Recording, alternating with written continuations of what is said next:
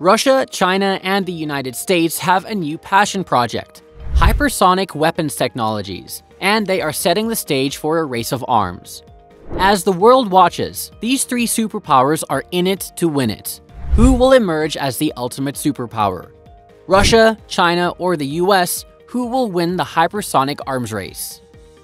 On the 6th of March 2018, Michael D. Griffin, the Pentagon's Undersecretary for Research and Engineering, gave a speech that would, with time, change the events of the future. Griffin was labeled a unreconstructed Cold Warrior, and he wore the label with pride. With five master's degrees and a PhD in aerospace engineering, he was the chief technology officer for President Reagan's Strategic Defense Initiative. I'm sorry for everybody out there who champions some other high priority, some technical thing. It's not that I disagree with those, he told the room, but there has to be a first, and hypersonics is my first. What Griffin was talking about was a new type of weapon, something that could completely revolutionize the world as we knew it. And today, these weapons are being developed not only by the USA, but also by China, Russia, and North Korea, and other countries. What are hypersonic missiles? Hypersonic missiles can maneuver and strike any target within minutes, and can travel at more than 15 times the speed of sound. They can reach their targets in a flash, much before anybody can be warned. An object moving through the air produces an audible shockwave, or a sonic boom, when it reaches about 760 miles per hour. This speed of sound is called Mach 1, after Austrian physicist Ernst Mach. When a projectile flies faster than Mach 1, it is said to travel at a supersonic speed, a speed faster than sound. When a projectile travels at a speed faster than Mach 5, it is said to travel at hypersonic speed. There are two categories of hypersonic missiles. Hypersonic glide vehicles are launched on booster rockets before they detach from the booster and glide towards the target at terminal velocity with an anti-radar maneuver. The second is hypersonic cruise missiles, which use oxygen for propulsion and are powered by powerful air-breathing engines or scramjets activated at high speeds. Both types of missiles travel at least five times faster than sound, but almost all ballistic missiles do that. Then what makes the hypersonic missiles unique? Hypersonic weapons are highly maneuverable, can fly at relatively low altitudes, and have such high speed that regular anti-missiles cannot compete. This makes it difficult to detect and destroy them. At hypersonic speeds, the air resistance and friction generate a lot of heat, which needs to be managed through tough but lightweight heat shields and thermal protection systems for the arms. The sensors and electronics also need to be able to withstand extreme conditions. China, Russia, and hypersonic missiles. As the war between Russia and Ukraine continues, it's been reported that Russia used a hypersonic missile in an attack on Ukraine. If confirmed, this would be the first time that an ultra-high-speed maneuvering weapon has been used in combat. It follows China's testing of its hypersonic weapon last June. The US confirmed that last year China conducted a few tests of hypersonic weapon systems to advance in space and military technologies. The Chinese military launched a rocket into space twice, the first time, it missed its target by about 24 miles. But one of the hypersonic glide weapons reportedly flew through low orbit space and circled the planet before plunging into the South China Sea. The system fired a missile as it approached its target while traveling at Mach 5. This globe spanning hypersonic glider has demonstrated some advanced capabilities. The launch of this hypersonic missile surprised many, including Pentagon's top general Mark Milley, who said that it was quite a Sputnik moment. He was referring to the Soviet Union's launch of the world's first ever satellite Sputnik in 1957, which ignited the superpower's race to space. While a lot of US leaders were stunned by China's progress, China quickly denied the reports, insisting that it was just a testing of a reusable spacecraft. Additionally, the Aviation Industry Corp of China, or the AVIC, had earlier confirmed that a Mach 8 wind tunnel called FL-64 had been completed and now had testing capability, including weapon separation and delivery. China also claims to have developed artificial intelligence that can predict the course of a hypersonic missile, as well as an infrared homing technology that it thinks the US will not have until at least 2025. China seems to be quite ahead when it comes to the development of hypersonic weapons. The weapons have a level of technological sophistication that worries the US officials. However, it might be less fearsome than it appears, because its sophistication might actually hold it back. Chinese scientists are also reportedly building the JF-22 wind tunnel, which can simulate flight at 30 times the speed of sound, state broadcaster CCTV reported last year. On the 29th of May 2022, Russia announced the successful test fire of the hypersonic missile Zircon, which is the latest addition to Russia's weaponry in the race against the US and China. Initial tests indicated that the Zircon had a maximum range of up to 500 kilometers. However, the latest developments saw it strike a target nearly 1,000 kilometers away in the White Sea. The Zircon is reportedly capable of flying 9 times the speed of sound, which is 2.7 to 3.2 kilometers per second. The Russian military had said that it had fired the Zircon missile from the Admiral Gorshkov warship and hit a test target in the Arctic waters of Russia. In December of 2018, Russian President Vladimir Putin announced that the Kremlin had tested the new Avangard hypersonic rocket. The test was completed successfully, Putin said all technical parameters were verified. Now, what is Avangard? Avangard is a hypersonic glide vehicle. It boosts into the upper atmosphere from a rocket, then detaches and glides towards its target. It can also maneuver as it reaches its target. The Kremlin had announced that it would fit Avangard with an atomic warhead and deploy it alongside old-styled intercontinental ballistic missiles starting in 2019. It is unclear, though, how potent the Russian weaponry is. The Kinzhal missiles used in Ukraine aren't technically hypersonics. They are air-launched ballistic missiles, most likely modified from Russia's Iskander missile. Military experts are also doubtful of the progress that Russia claims to have made regarding other hypersonic weapons. Around the time of the results of the Avangard test, a photo went online of a Chinese warship sailing in the ocean armed with an electromagnetic railgun that could be capable of firing shells at hypersonic velocity. While conventional guns use explosive powder to charge, a railgun propels its projectiles by magnetic force. The railgun first appeared in January of 2018 in a photo of the Chinese Navy landing vessel Xiangshan at a facility in Wuhan on the Yangtze River. A large cannon could be seen on the forward deck of the ship. China confirmed in March that the cannon was indeed an experimental railgun. The photo also seemed to confirm that the gun had undergone at-sea tests, which would make it the first weapon to do so. Meanwhile, the war against Ukraine didn't go exactly according to what Russia had planned. As the initial objectives failed, everybody is fearful that Putin might increase the use of its hypersonic and long-range missiles.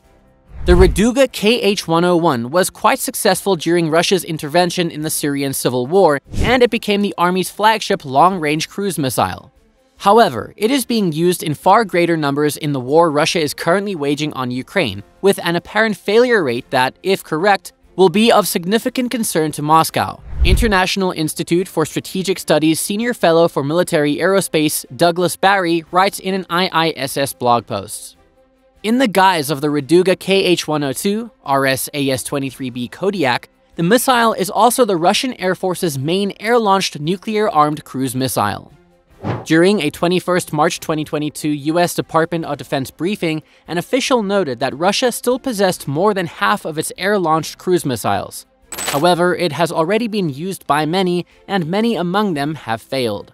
The official said, either they are failing to launch, or they're failing to hit the target, or they're failing to explode on contact. Is the USA lagging behind?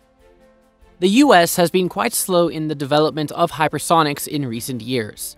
The Air Force has struggled with its air launch glider, while the Army and Navy won't be deploying their gliders before 2024 and 2025. Russian systems like the Raduga KH-101, RS-AS-23A Kodiak, air-launched cruise missiles, and Avangard hypersonic glide vehicles are already entering service, but the US does not yet have an equivalent. In mid-March, the US was successful in testing a hypersonic missile. The country kept it a secret for two weeks due to the ongoing Russia-Ukraine conflict and to avoid escalating tensions with Russia. The Lockheed Martin version of the hypersonic air-breathing weapon concept was launched from a Boeing B-52 strategic bomber. The missile maintained a speed of at least Mach 5, or 5 times the speed of sound. It flew 65,000 feet above and traveled for more than 300 miles. The Air Force's Air Launched Rapid Response Weapon, or ARRW, is a hypersonic boost glider. The US also conducted two successful tests of scramjet powered cruise missiles in September of 2021 and March of 2022. While both Russia and China claim to have hypersonic boost glide missiles, no nation has developed a scramjet powered cruise missile for service yet. This was the first successful test of the ARRW after three consecutive failures in testing in 2021. Soon after the testing, the US, the UK, and Australia announced a partnership called AUKUS, which will provide Australia with nuclear powered submarines in the Indo Pacific region. It's mainly to keep an eye on the Chinese Navy, which is becoming an increasing threat. Following the news that Russia fired hypersonic missiles at Ukraine, AUKUS decided to not only develop the missiles, but also find a way to stop them. We are committed today to commence new trilateral cooperation on hypersonics and counter-hypersonics and electronic warfare capabilities, as well as to expand information sharing and to deepen cooperation on defense innovation, said US President Joe Biden, British Prime Minister Boris Johnson, and Australian Prime Minister Scott Morrison in a joint statement. We reaffirmed our commitment to AUKUS and a free and open Indo Pacific. In light of Russia's unprovoked, unjustified, and unlawful invasion of Ukraine, we reiterated our unwavering commitment to an international system that respects human rights, the rule of law, and the peaceful resolution of disputes free from coercion. Hypersonic weapons are so fast, so maneuverable that modern defenses can't stop them, said Dr. Alex Craig, an assistant professor of aerospace and mechanical engineering at the University of Arizona. Russia and China especially have been working in this field. Honestly, they are probably ahead of us right now. The university's Boundary Layer Stability and Transition Laboratory features a hypersonic wind tunnel capable of testing airspeeds of up to Mach 5, five times the speed of sound, or about 3,800 miles per hour. Such wind tunnels help researchers study the effects of hypersonic speeds. According to Craig, the US started decommissioning wind tunnels and other ground testing infrastructure after the Cold War, whereas countries like China kept on building. That is why China has made a certain level of progress that the US has apparently not been able to match. He also believes that Russia hasn't revealed everything they have yet and that they surely have something more formidable in store. However, the Pentagon needs to analyze how hypersonics can help meet its goals, and the goal shouldn't be to match or keep behind China or Russia. The Pentagon also needs to improve its defenses against hypersonics by strengthening theater defenses to protect potential targets such as aircraft carriers and command centers. According to Aaron Stein, director of research at the Foreign Policy Institute in Philadelphia, while all the major nuclear players are developing hypersonic systems, their end goal is different. And these different points of view feed into others' paranoia, leading to an aggressive race for arms. Both Russia and China have hypersonic arms in service, but their weapons are nuclear and intended to serve as deterrents, which means that these weapons would only need to be used in a near peer conflict. Russia's Avangard has a 2 megaton nuclear warhead, so until a nuclear war that threatens to end the world actually begins, they don't need to prove that their weapon functions correctly. In the same way, China's DFZF was designed to sink American aircraft carriers, another situation which hopefully doesn't materialize. On the other hand, the US is committed to developing only conventionally armed, non nuclear hypersonic missiles. This means that they can be used immediately after being put into service for all kinds of conflict. As these weapons carry conventional warheads rather than nuclear ones, it also creates a challenge when it comes to the target. According to the Congressional Research Service, a nuclear weapon can be up to 100 times less accurate than a conventionally armed one. This is due to the size of its blast radius. You can afford to miss the exact target with a nuclear missile because it creates such a huge explosion that the target gets covered anyway. Conventional missiles, on the other hand, would need to be extremely precise. Comparing who's ahead and who isn't is not a very useful framework, because the countries have different endpoints, said Singapore based defense analyst Zoe Stanley Lockman, formerly with the European Union Institute for Security Studies. Beijing and Moscow look at hypersonics to ensure that they can defeat all missile defenses. The US plans to use them to strike hard targets, such as things that support nuclear command and control. Ankit Panda of the Carnegie Endowment for International Peace notes that the most valuable thing that the US could do to slow down this race for arms is to discuss the limitations on strategic missile defenses, just like it did during the Cold War. Putting missile defense on the table would allow Washington to extract meaningful concessions from Russia and China. It would additionally dissuade each from pursuing costly, convoluted, and dangerous means to deliver nuclear weapons. Where do the other countries stand with regards to hypersonic arms? The top spot in the hypersonic missile race is claimed by Russia and China. Russia has been intensely developing hypersonics in recent years. Putin believes that this will give Russia an edge over the US. India, in collaboration with Russia, is developing the BrahMos 2, which underwent testing last September. Japan is also working on a hypersonic missile that is specifically intended for anti-ship purposes. Several other countries, including France and Australia, have programs to develop hypersonic weapons. If all of these countries are getting on board with hypersonic arms, North Korea won't be far behind. These weapons are a step further than the ballistic missiles that Pyongyang have tested over the years. If North Korea fully realizes this, it could be a real contender in the race of arms.